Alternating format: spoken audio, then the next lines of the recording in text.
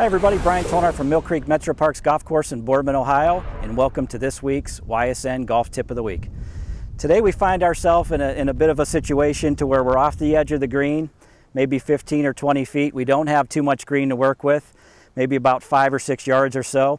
We really got to get the ball lofted and get it high in the air to make sure that we can get it very, very close. So today we're going to talk about what we call the flop shot anytime that you watch the PGA Tour, you see the guys making these full swings by the edge of the green. Very tough shot to hit, but I'm going to walk you through each step of the process. So if you find yourself in this predicament, we're able to get out and give ourselves an opportunity to make a putt.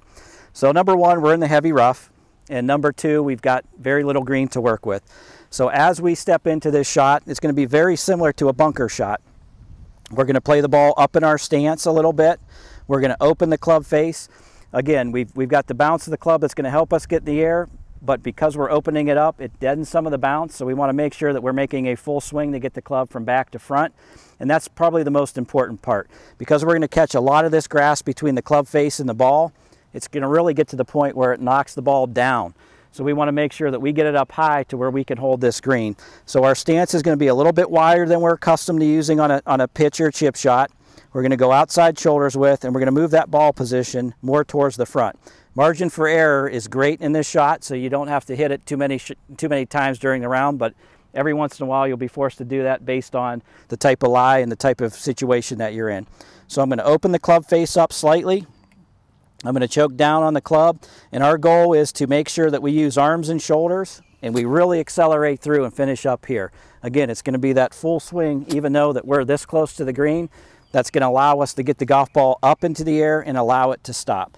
Goal from this range is really just to get it within about 15, 20 feet or even onto the green. Because the rough is severe and because we don't have that much of green to work with, we just are worried about getting it on the green to give ourselves an opportunity to putt. Every once in a while you hit one of those close, every once in a while you'll knock one of those in, but goal number one is to get yourself out of this poor situation that you find yourself in with very little green to work with and give yourself the opportunity to get it up and down and have a putt at that par or bogey or birdie or vice versa. All right, we've got our setup all down pat. We've got our weight on our front foot. We're ready to hit the shot. Again, this is gonna come in high and it's gonna stop and, and, and check up a little bit if we're lucky. Arms and shoulders back and through. The key is a nice high finish.